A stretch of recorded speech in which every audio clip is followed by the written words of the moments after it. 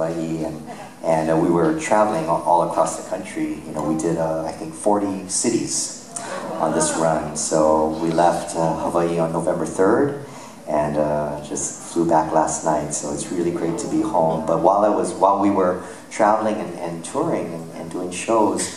Um, it was funny because usually around this part of the, the show, I would kind of explain to everyone how different it is uh, for us growing up in Hawaii during the holidays because um, it's still warm. Every, everywhere else it was freezing. Um, so uh, so I, I, I would play this, this medley of three songs that I felt kind of summed up um, my experience, you know, growing up here in the islands uh, during the holidays. So I hope you enjoy these three tunes.